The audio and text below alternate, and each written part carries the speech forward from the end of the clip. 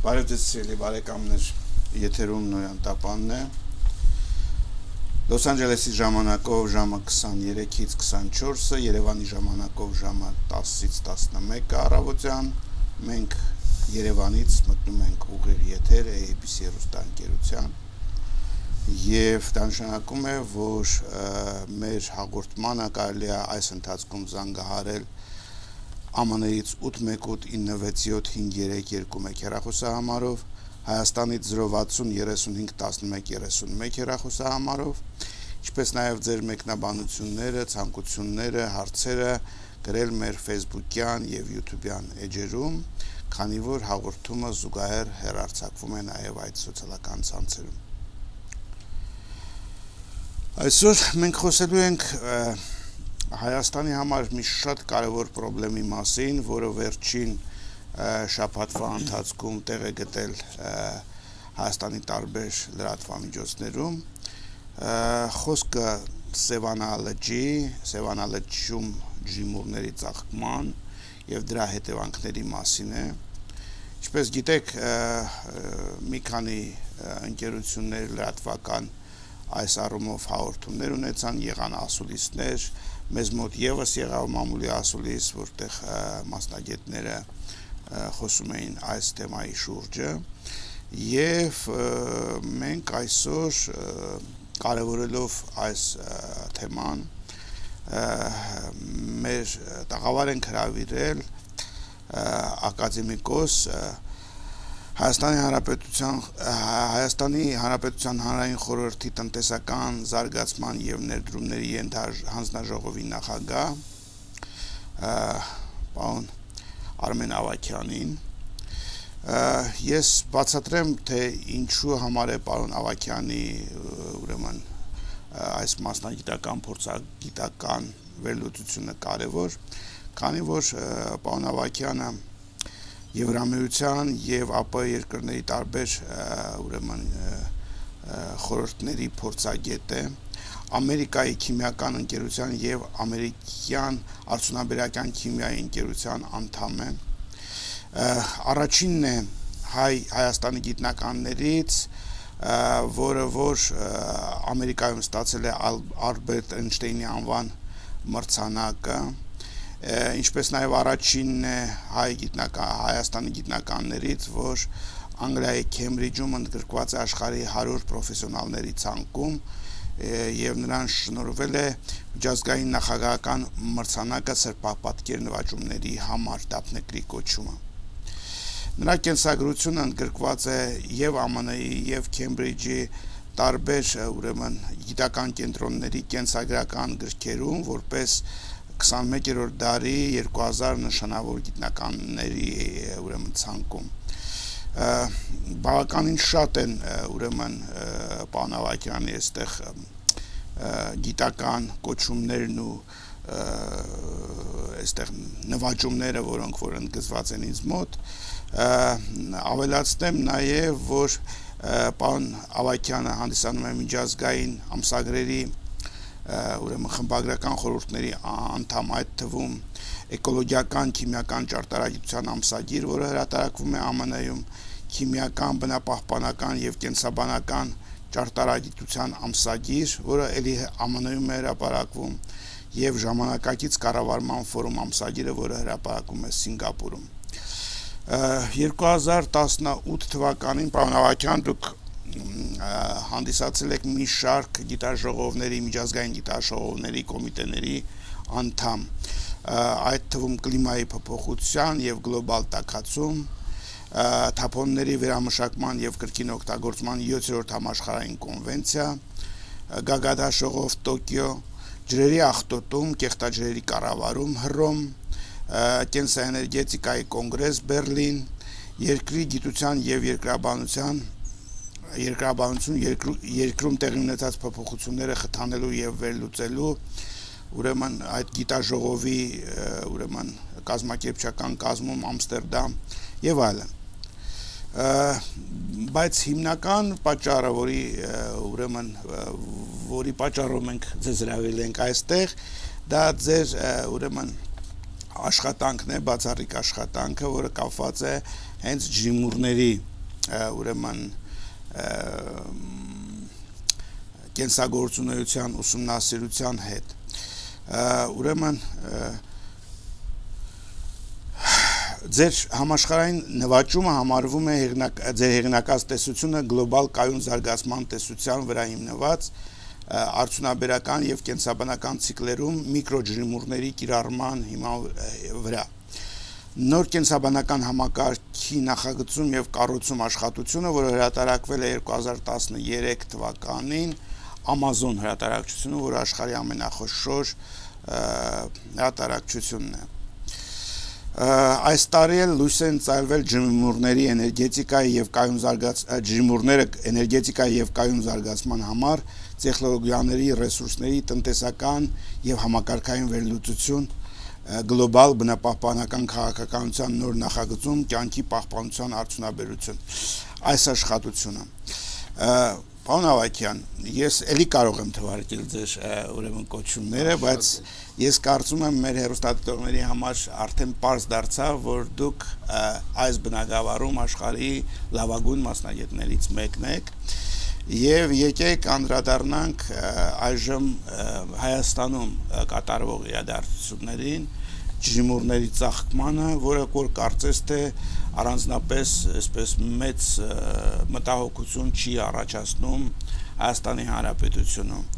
Իմ առաջին հարցն այն է, որ ընդհանրապես ես կուզենայի մեր հերոստատիտողների համար մի փոքր դուք ներկայացնեք ջրիմուրների որպես այդպեսին էությունը ինչ է նրանց ներկայացնում եւ ինչ նշանակություն ունեն նրանք կյանքի համար եւ հետո անդրադառնանք թե ինչ վտանգներ կարող է ուրեմն ունենալ Սևանալը ջում այդ ջրիմուրների անախադեպ ծաղկում։ Ես ճիշտ ասած այս ելույթը ելույթում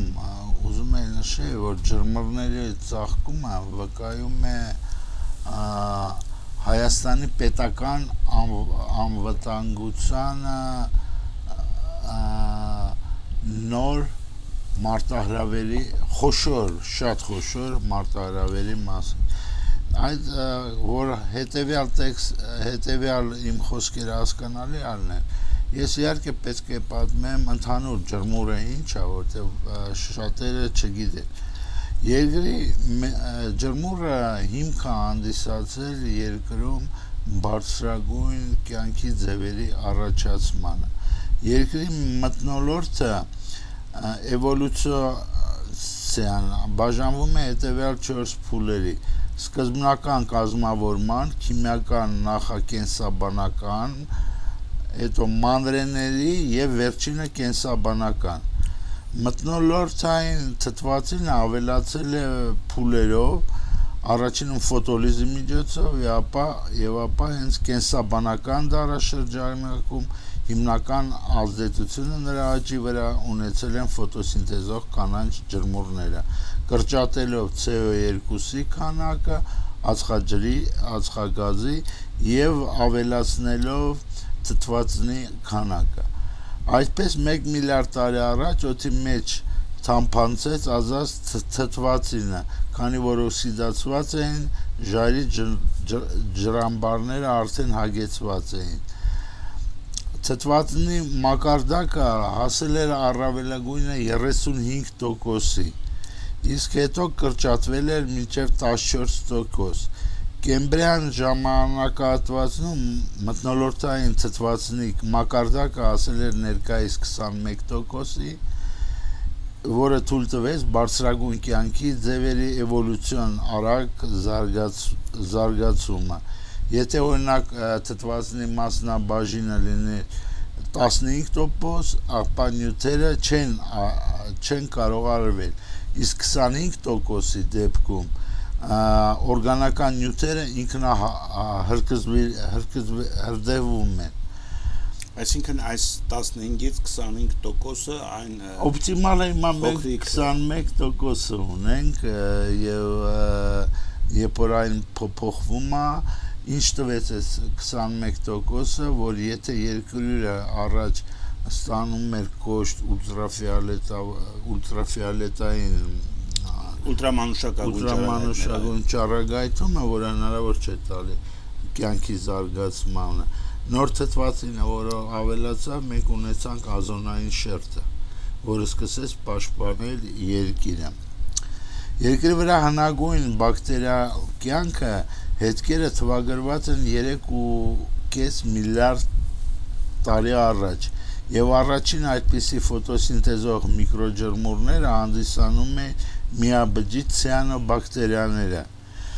որոնք մորֆոլոգիական կառուցվածքով ճշգրիտ դասական ջրմուրներ չեն, քանի չունեն կորիզ, դա բջջի կառուցվածքն է, որը ներառում է DNT-ն եւ խլորոպլաստներ, ֆոտոսինթեզող մեմբրաններ Ցիանոբակտերիաները ունեն ունեն բարձր դիմացկայություն տարբեր գործոնների, ինչպես է ուլտրամանուշակագույն ճառագայթումը, բարձր ու ցածր ջերմաստիճանը եւ այլ։ Այդ պատճառով իրանք դիմանում են թթվածնի քանակի մտնոլորտում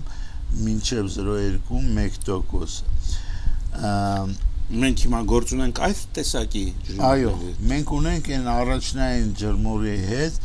որը միկրոջրմուր է եւ որը ստեղծեց առաջին պայմանները կյանքի զարգացման եւ բալանսավորեց եւ նպաստեց թթվածնի ավելացմանը մտնոլորտում։ Ուրեմն հաջորդ երբ որ ծծվածնի քանակը հասավ 0.2-1%-ի մտնոլորտում արդեն այդ ջրմուրներից առաջ ցիանոբակտերիաներից 2.5 1 միլիարդ տարի առաջ աճելով բարձրացնելով թթվածնի տոկոսը մինչև 0.2-1% այսօրվա հիշեք 21%-ի դիմաց։ Այս ժամանակ արդեն սկսեցին մյուս իսկական ջրմուրները զարգանալ մի բջջանի եւ դրանցից արդեն սկսին զարգանալ մակրո ջրմուրները, որոնք նույնպես դասում են ֆոտոսինթեզող օրգանիզմների էուկարիոտիկ խմբին, բայց էվոլյուցիոն կենսաբանական կենսաքիմիական եւ արտաքին նմանություն ունեն արդեն բարձրագույն բույսերի հետ։ Ինչի համար է այդ ամբողջը հիմա ներկայացնում բան ավակյան։ Որովհետեւ Սևանում ծաղկումը երկու ձևի է։ Անդեղ կան եւ այդ ցիանոբակտերիաները եւ մեծ տարածում անգամ պլանտացիաների ձևով մենք նկատում ենք մակրո ջրմուրների որ տենց որ լողափը մտնում ես ոտի տակից տակը զգում ես այս պլանտացը այդ պատճառով պետք է առանձին առանձին մեկնաբանել նրանց ազդեցությունը տնտեսության առողջության եւ այլ ուղություններով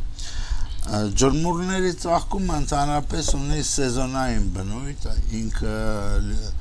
նկատվում է, երբ որ ջրի ջերմաստիճանը բարձրանում է,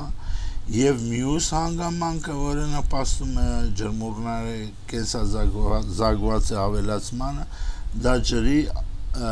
աղտոտումը որոշ աղտոտիչներով այսպիսով չի կարելի միայն կապել բարձր աստիճանի հետ մեր այդ պատճառով ձմեռվա եւ այլ ցուրտ ժամանակներում մենք չենք նկատում ջրի ծաղկում հիմա պետք է հատուկ Կովկասի Սևանը Կովկասի ամենամեծ եւ եվրասիական լեռնային խոշորագույն լճերից համար համարվող 1 միլիոն տարեկան է եւ այսօր ինքը հասել է մակարդակը 1900 մետր նախքին պատմական 1916 մետրի Իհարկե 16 մետրով ավելի պակաս է, քան պետք է լինի։ Կամ թե նախնական է։ Չէ, չի կարելի ասել պետք է լինի, լավ կլինի, որ լինի։ Բայց նայած թե ինչ ճանապարհով է դա իրագործվում։ աշխարհում լեռնային լճերից իր չափերով նա զիջում է մենակ ծիծիկակա լճին բոլոր մյուս հարևան մեր երկրին լճերը Ադրբեջանի, Իրանի, Ղազախստանի, Թուրքմենստանի, Թուրքիայի աղի են այսպիսով Սևանան լիճը քաղցրահամ որպես քաղցրահամ ջրի աղբյուր ունի հատուկ նշանակություն ամբողջ Կովկասյան տարած տարածաշրջանում եւ խմելու ջրի մեծ պոտենցիալ է։ Հայ Հայաստանում այն Սևանը ապահովում է խմելու եւ որոկված ջրի 80%-ը։ Պատկերացրեք դա ինչ մեծ թիվ է։ Եվ այդ ջրի որակից կախված է շատ բաներ այդ ասպարեզում Սևանի լիճը համապատասխանում է Ռամսարի ցուցանիշներին, քազի նրա ավազանը աջակցում է առնվազն 48 տեսակի ողնաշարավոր եւ 48 տեսակի բույսերի բազմացմանը, որոնք ընդգրկված են Հայաստանի կարմիր գրքում, այդ թվում 48-ը հազվադեպ խոցելի եւ վտանգված կենթանական եւ 12%-ը բուսական տեսակների։ Ես մեկ-մեկ նայում եմ, որտեվ թվերի մեջ սխալվում եմ։ Ես առաջարկում եմ մենք հիմա դուրս գանք կարճատև գովազդային դաթարի, որից հետո ես ձեզ խնդրելու եմ, որ դուք ներկայացնեք այնուամենայնիվ մեր հերոստատիտողներից շատերը կարծում եմ այդ ջրիմուրների ծաղկման մեջ չեն տեսնում այդ վտանգը իսկ ինչու է դա այդքան անհանգստացնում որովհետև սա զուտ մասնագիտական բան է մենք խոսում ենք ամենակարևորի մասին բայց կարևորներից կարևորը չենք ասում եւ այսպես գովազդային դաթար Սերի բարեկամներ, եթերում նորանտապանի գիտական Հայաստան հաղորդաշարն է եւ մեր հյուրն է ակադեմիկոս Արմեն Ավակյանը Պարոն Ավակյան, մենք խոսում էինք Սևանի ջրիմուռների ծաղկման վտանգի մասին։ Դուք ներկայացրեցիք ընդհանրապես ջրիմուռները ինչ են ներկայացնում իրանցից, ինչով են պայմանավորված եւ Սևանի նշանակությունը։ Բայց մենք չենք խոսել այն անմիջական վտանգի մասին, որը ջրիմուռների ծաղկումը բերում է մեր հասկապնակցության Այս կապտականացիանը բակտերիաների առաջին ծաղկումը Սևանում գրանցվել է Անաբենա գրանցվել է 64 թվականին ցիանոբակտերիաները կարող են արտադրել տոքսիններ պատասխանատու դառնալով ջրի հետ կապված թունավորման ավելացման հետ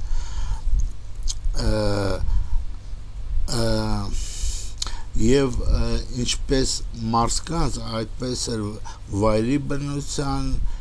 եւ լուրջ դժվարություններ ստեղծել ջրի մատակարարների համար 1998 թվականի ԱՄՆ բնապահպանական գործակալությունը ցիանաբակտերիաները եւ դրանց տոքսինները նրարել էր արտոծիչների ցանկում որպես առաջատարներ Ցիանոբակտերիաները կարող են հանդիսանալ ալերգիկ ռեակցիաների, գաստրոենտրիտների եւ նույնիսկ ավելի ծանր հիվանդությունների պատճառ։ Երեք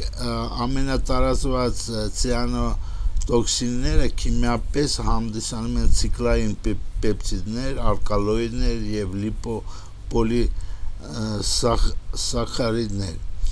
Նեյրոտոքսինները վնասում են նյարդային համակարգը, հեպատոտոքսինները լարթը եւ դերմոտոքսինները գրգռում են մաշկը եւ լող լորձ ցածաղանդները անաբենայի կողմից արտադրված որը Սևանում արկա է անաբենայի կողմից արտադրված նեյրոտոքսինային ալկալոիդները եւ մահացու են 20 գրամ լիտրում մարսկանց համ, համար հաշվարկված 1 կիլոգրամ մարմնի քաշի եւ անոտոքսինները աֆանատոքսինները առաջացնում են շրջան շրջարության մկանների կախված առողջապահության համաշխարհային կազմակերպություն կողմից թույլատրելի նորմը միկրո միկրոտոքսինի ջրում կազմում է մինչև 1 միկրոգրամ լիտրին։ որոշ տաքսիները խթանում են ուռուցքի զարգացումը հետազոտողները ապացուցեցին, որ ԱՄՆ-ի 81 տարբեր լճերում Լայկերիա, Օնտարիո, Օնեյդը, Չամպլայն եւ այլն 20% ունեցել են թունավոր ծախման որոշակի հատկանիշներ։ Բրազիլիայում 75 երիկամային դիալիզի հիվանդների 26-ը մահացել էին 1 օրվա ընթացքում երբ դիալիզի համար նախատեսված ջուրը մատակարարվել էր ծաղկած ջրամբարից։ Լարթի հիվանդությունների մեծ մասը, որը կապում են ալկոգոլի չարաշահման հետ, ըստ էության կարող են պայմանավորված լինել այդ ցիանոբակտերիաներով։ ԱՄՆ-ում նյարդային եւ լարթի տոքսինների թունավորման թունավորման դեպքերը հաշվարկված են տարեկա տարեկան 900 հազար հիվանդություններ եւ 900.000 եւ 900-ից ավել մահացություններ է գրանցվել։ Կապտականաչի թունավորման արդյունքում նա գրանցվել է նաև մահացություն եւ լարթի վնասում կովերի, խոզերի, ոչխարների, շների եւ թռչունների մոտ։ Մարդկանց անասունների թռչնաբուծական եւ ձկնաբուծական տնտեսությունը անողով անողնաշարավորների վրա խեցգետիների եւ ջրային ֆաունայի թունավորումը կարող է տեղ ունենալ ինչպես ծախման տոքսինների ազդեցություն կրող ջրի հետ շփման եւ խմելու միջոցով այդպես էլ այդպիսի ջրով աճեցրած մթերքի կիրառմամբ Պարոն Ավակյան, աստորեն դուրս է գալիս, որ Սևանա ջրում այդ ծաղկումը ջրիմուրների, որը մենք հիմա տեսնում ենք եւ մեր պատկան մարմինները նոր հետազոտություններ են անում այդ ջրիմուրների ծաղկման հետ կարող է բավականին լուրջ առողջական խնդիրներ առաջացնել Հայաստանի ազգային բնակչության մոտ ոչ միայն առողջապահական, այլ նաև այն բերում է պետական անվտանգության այ ի՞նչն է կապը խոշոր մարտահրավեր է քանի որ մեր սնունդը կարող է սննդային անվտանգությունն է խցվում այսինքն կենթանիները իսկ կենթանիները որ երբ որ ձկները երբ որ այդպիսի տոքսին նյութեր են կլանում եւ բույսերը այդ նրանց մեջ դա մտնում է եւ հետո մարդը օգտագործում է սննդային իր ռացիոնում եւ այդ տոքսիններով մարդը անուղակի է արդեն ստանում այդ տոքսինը շատ լավ հենց բուն ջրի օգտագործումը կարող է դա բերել բա իհարկե բա որոքվում է 80% ասեցի չէ Սևանի ջրի 80%-ը Սևանի ջուրը 80%-ն է մեր որոքման ջրերի եւ խմելու ջրերի Բայց դա ահրելի թիվ է։ Եթե Սևանը տենց այդպես շարունակվի ախտոտվել, մենք կզրկվենք եւ առողջ մարդկանց եւ անասունապահությունից եւ ձկնաբուծությունից ես հիմա կարող եմ թվարկեմ որոշ միջոցառումներ, որոնք Ամերիկայում են արվում այդ բանի հետ այս դեպքերում նախնական գնահատականով ամենում ԱՄՆ-ի կապտականանչի ուղակի վնասները հանրային առողջակայության ոլորտում գնահատված են տարեկան 20 միլիոն կամ ոլորտի ծախսերի շուրջ 42-ը Արևտրային ձկնորսության ոլորտում մինչև 18 միլիոն տարեկան, զբոսաշրջության ոլորտում 7 միլիոն եւ մոնիտորինգի համար 2 միլիոն ամբողջությամբ ԱՄՆ-ի էուտրոֆիկացիայի եւ քաղցրա համ ջրերի կապտականան ծախման վնասները գնահատվում են 2.2-4.6 միլիարդ տարեկան։ Դույս դա նաև տնտեսական խնդիր է։ Ներողություն եմ խնդրում, ես ճիշտ հասկացա ձեզ, որ փաստորեն ինքը բուն երևույթ է, դա հայտնի երևույթ է, որ լճերը կարող են ծաղկել, եւ ասենք տարբեր երկրներում, օրինակ ԱՄՆ-ում, ինչ որ միջոցառումներ են ձեռք առնում, այդ լճերի մեջ ջրիմուրների այդ տեսակի ջրիմուրների ծաղկմանը հակազդելու հետազոտելու հաղազդելու ուղղությամբ այո արվում են ես այտենց ասած ջրմուրների ախտահանումը քլորի ջերմության մեխանիկական մեթոդներով արդյունավետ չի եղել գտել են Քիմիական մեթոդներից ամենատարածվածը պղինձի սուլֆատի կիրառումն է, բայց այն թունավոր է բենտոնիկ օրգանիզմների համար։ Այլ բոլոր օգտագործվող քիմիական նյութերի ազդեցությունը շրջակա միջավայրի վրա նույնպես ապացուցվել է, որ վնասակար է։ Այսինքն եթե пастоրեն ինչ որ ձևով պայքարում են այդ միկրոօրգանիզմների դեմ, ինքը նաև ունի այսպես կողմնակի բացասական էֆեկտներ, ախտոտում են ջուրը եւ այլն եւ այլն եւ այլն։ Մյուս մեթոդները դա արդյունավետ են, գրանուլար ակտիվացած ածխածինը, նանոֆիլտրացիան, հակառակ օսմոսոզոնացիան եւ կենսաբանական մեթոդները կարող են արդյունավետ մաքրել տոքսիններից, բայց նրանց օգտագործությունը ունի շատ բարձր ինքնարժեք եւ կամ մեծածավալ դե կիրառելի չէ չես մաքրի այո հասկանալի է Եվ 2001 թվականին թունավոր ցիանաբակտերի լույս ծաղկում է գրացվել ԱՄՆ-ի Դիամոնդ լճում եւ երկու լողափները փակվեցին այդ պատճառով։ Այդ դեպքում Այլ դեպքում Դուգլասի շրջանի առողջապահության եւ սոցիալական ծառայության դեպարտամենտի աշխատակազմը մշակել էր լճի եւ հաղորդակցության մոնիտորինգի ծրագիր եւ ռազմավարություն։ Հասարակությունը զգուշացվել էր սպառնալիքի մասին։ Այսինքն բավականին լուրջ լուրջ միջոցառումներ են արվում բայց ես հետո կնշեմ ամենաարդյունավետ եղանակը ջրմուրների համաձայն Հայաստանի Հանրապետության բնապահպանության նախարարության 2017 թվի տեղեկագրի Սևանի լճի ջրի որակի ուսումնասիրությունների համար վերցրել են նմուշներ լճի մակերևույթից եւ տարբեր խորության կտրվածքներից 17 դիտակետից 48 փորձանմուշ Սևանան լճից վերցրած փորձանմուշներում ըստ ըստ գնահատման սահմանան սահմանային թույլատրելի կենսաքիմիական պահանջարկը բարձր է բարձր է թույլատրելի կոնցենտրացիան 1.2 1.4 անգամ եւ թթվածինի քիմիական պահանջարկը ավելի բարձր է սահմանային թույլատրելի կոնցենտրացիան գերազանցվել էր այս անգամ 1.2 2 անգամ որոնք վկայում են այն մասին որ Սևանում օրգանական նյութերի քանակը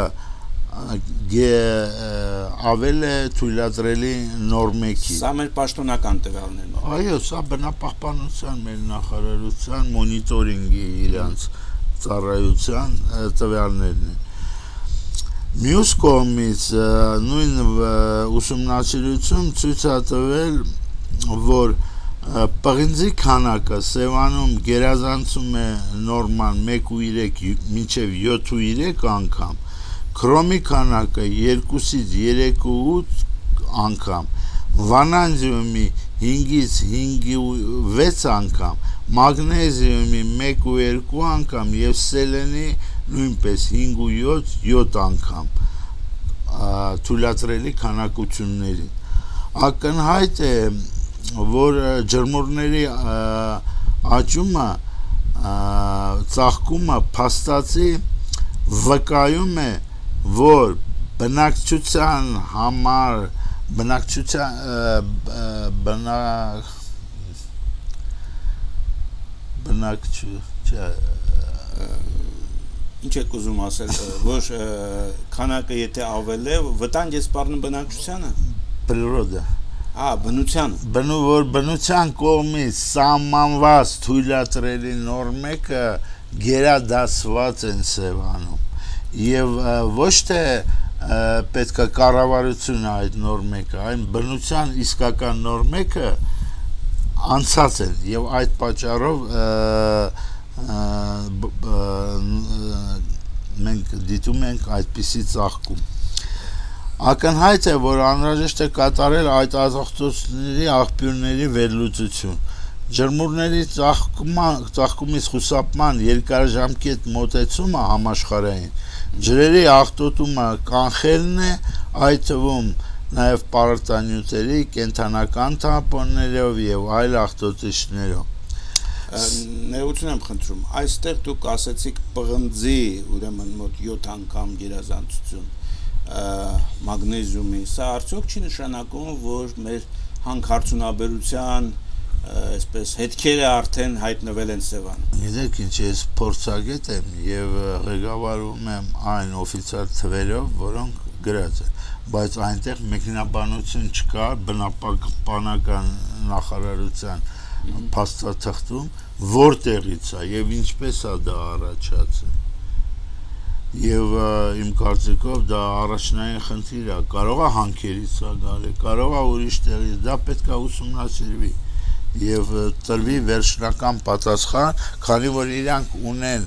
Սևան լծվող ջրի ուսումնասիրությունը, իրանք երևի կարող են ասել, որ տեղից հնարավոր է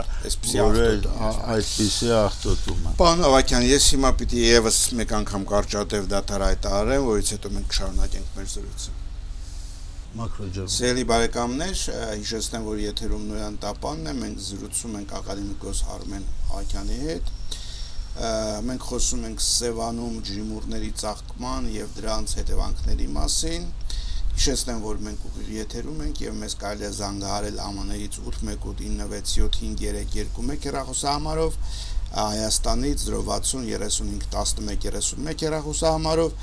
մեկնաբանություններ եւ հարցեր թողել մեր Facebook-յան եւ YouTube-յան էջում, որտեղ զուգահեռ հեռարձակվում է այս հաղորդումը հենց այս պահին։ Ես ուզում եմ ձեր նախորդ ասացները մի քանի բառով ամփոփել, պարոն Ես մի բան էլ ասեմ մակրո ջերմուրների մասին, որտեղ այս խմբի մասին մենք չենք Ընդհանրապես չխոսեցինք, այո։ Մակրո ջերմուրները Սևանում արդեն աղրելի պլատացիաներ ունեն, տենց որ մտնում ես լողա, ոտի տակը զգում ես մակրո ջերմուրներ։ Նրանք տես տեսքից բույսին նման են։ Նրանք տոքսիկ նյութեր չեն արտադրում, բայց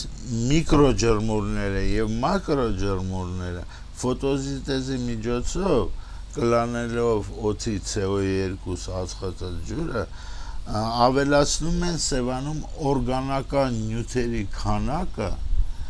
որը տանում է Սևանի ճահճացման։ Արդեն մենք տեսնանք եւ բնապահպանության նախարարության տվյալներով օրգանական նյութերի քանակը Սևանում չափից ավել է։ Ուրեմն մենք տարեց տարի ավելի process-ները գնալու են Սևանի ճախճախցման եւ դա մեծ վնաս է բերելու եւ տնտեսությանը եւ առողջապահությանը եւ ձկնաբուծությանը այդ պատճառով մենք պետք է լուրջ միջոցառում ներ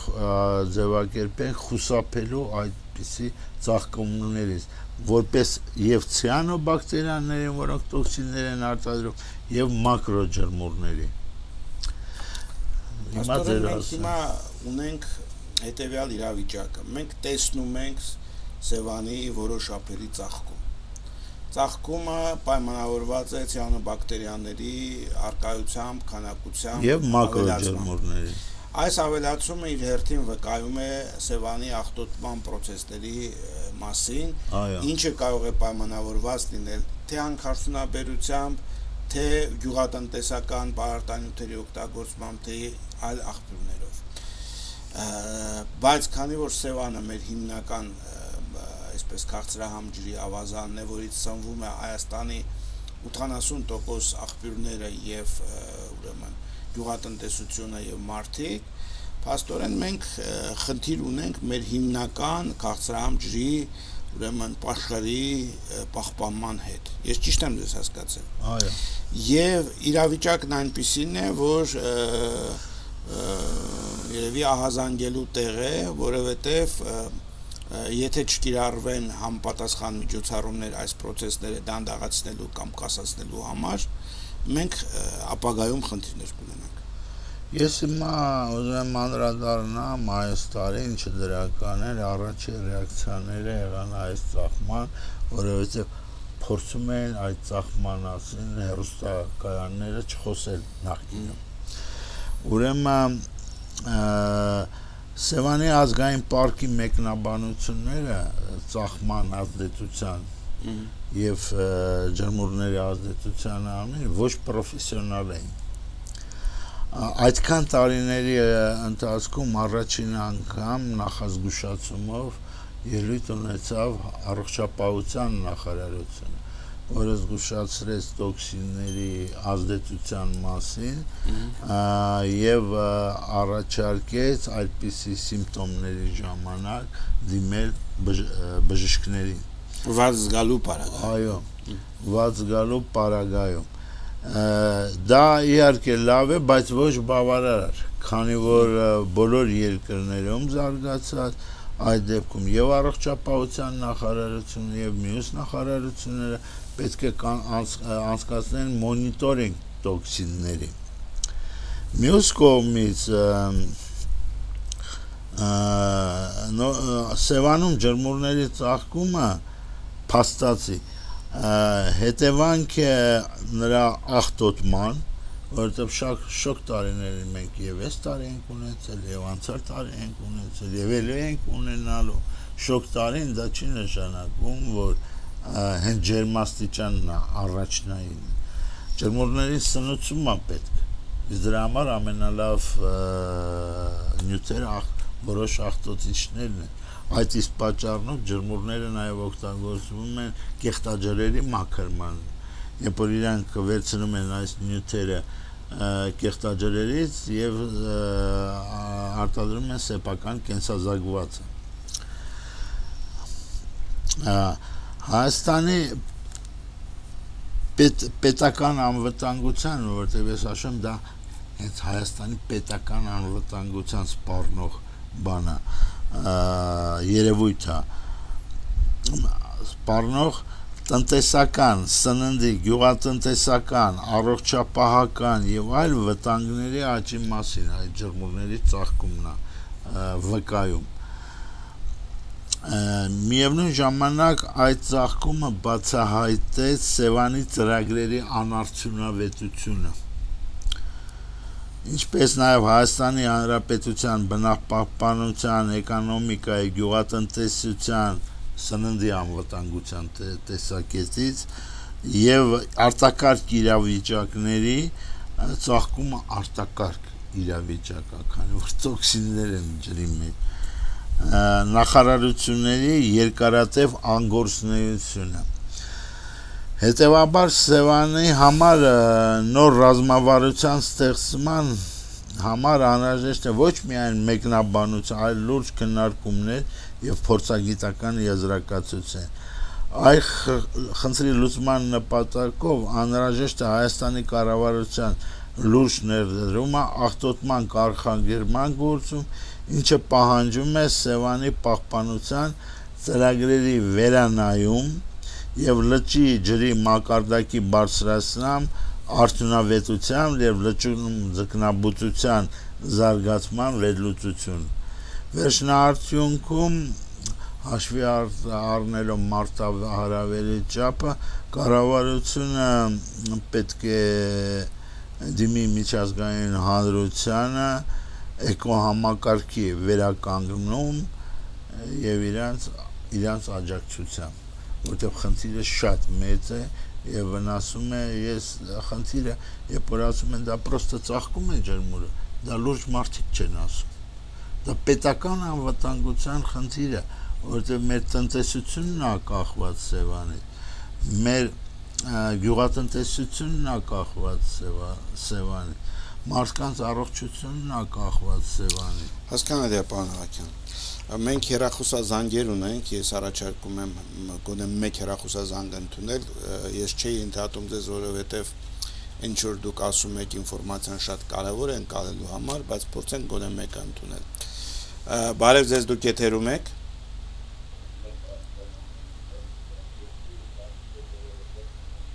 Լսում ենք ձեզ։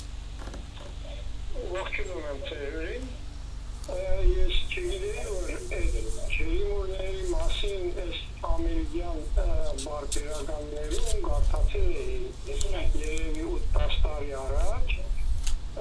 ուրեմն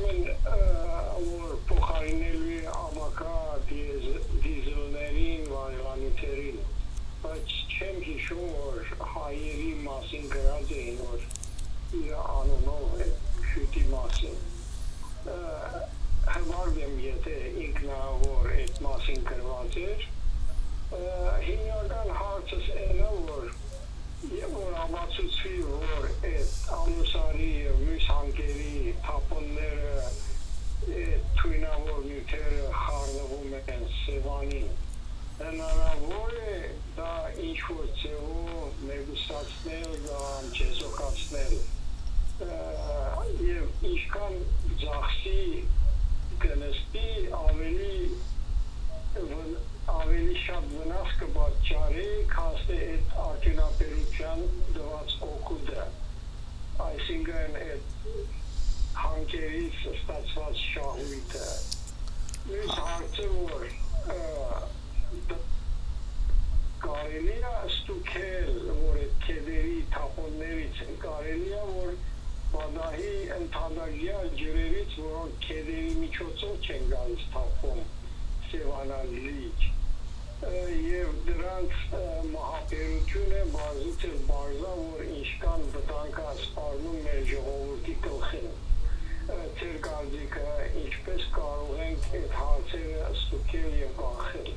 Շնորհակալություն, շնորհակալություն ձեր հարցերի համար։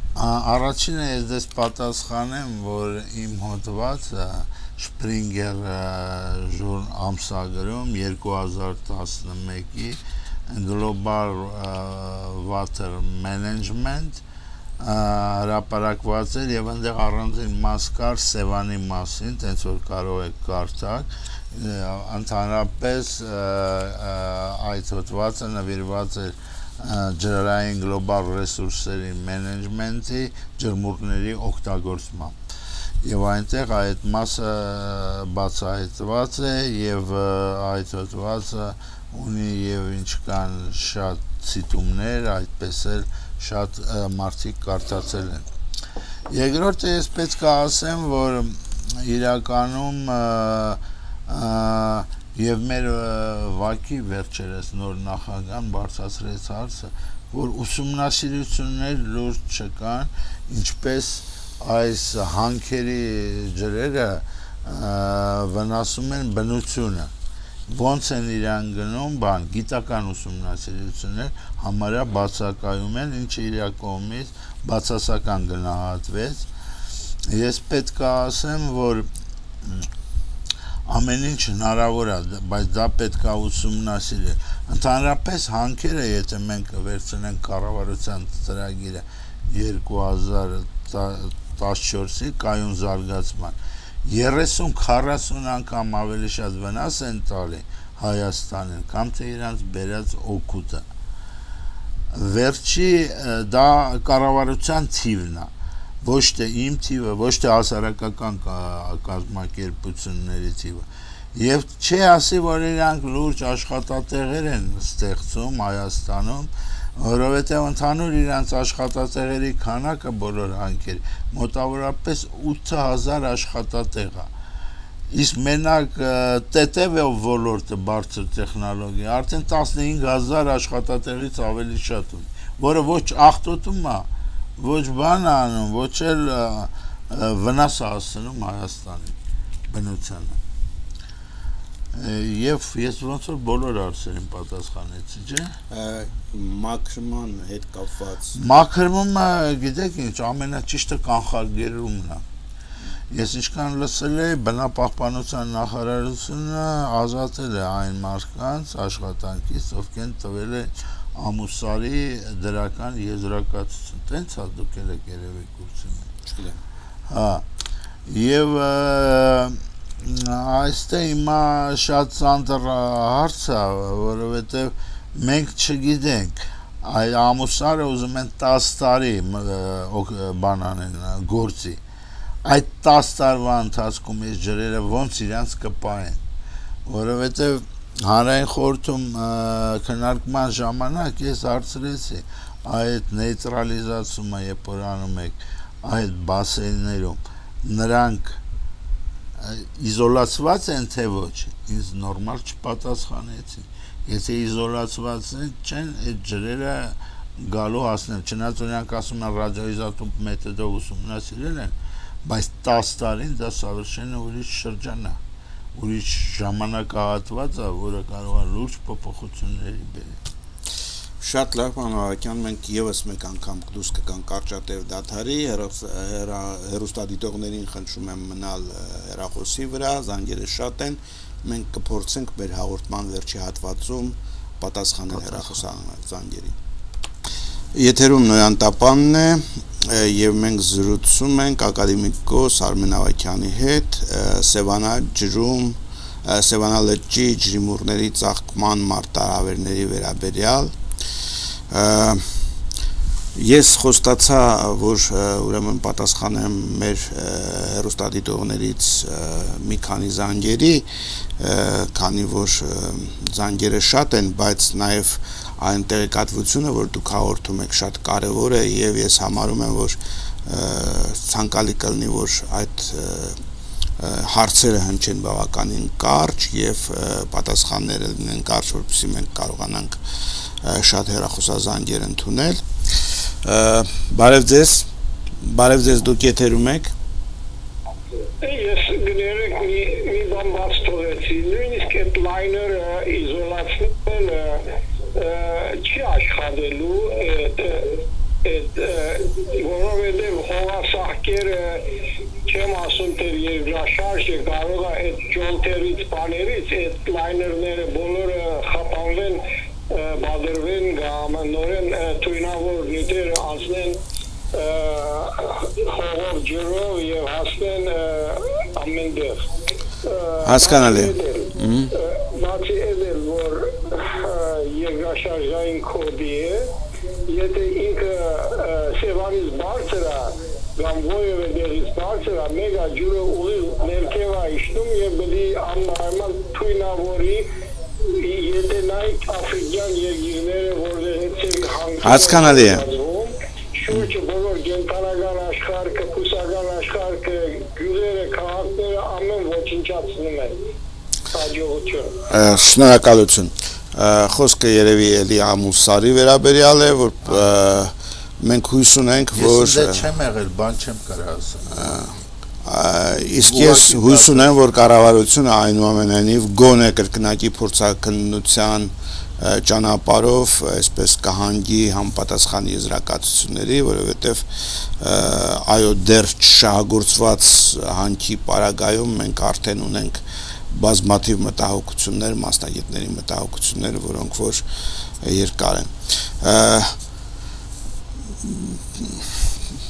մեկ այլ հեռախոսազանգ ընդունենք եւս։ Լսում եմ ձեզ։ Բարև ձեզ, ողջունում եմ ձեր հաղորդումը եւ ողջունում եմ ձեր ուրին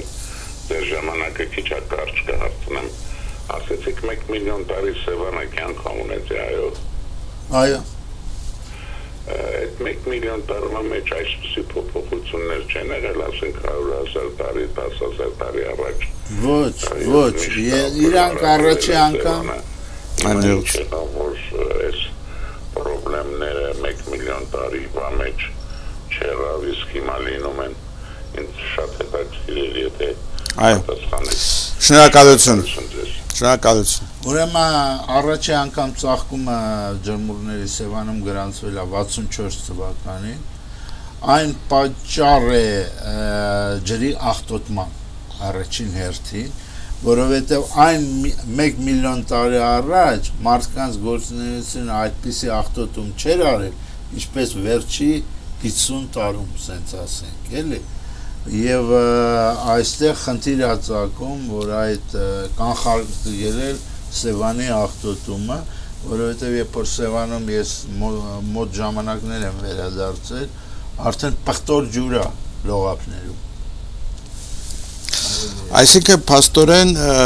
մարդկային գործունեությունն է, որ պատճառ է հանդիսանում այս աննախադեպ աղտոտման եւ երևի մեր հաղորդումը ամփոփենք այս մտքով, որ մարտահրավերը բավականին լուրջ է եւ մենք ուզում ենք, որ մեր իշխանությունները պատշաճ ուշադրություն դարձնեն այս խնդրին, որովհետև սա վերաբերվում է գրեթե ողջ հանրապետության տնտեսությանը, ազգաբնակչությանը, առողջությանը։ Դա պետական Հայաստանի պետական անվտանգության հարց է։ Շնորհակալություն եմ հայտնում ձեզ պարոն Ավակյան մեր հաղորդմանը մասնակցելու համար, իսկ մեր հուստադիտողներին ուզում եմ մաղթել ամենայն բարիք, միջև նոր հանդիպում։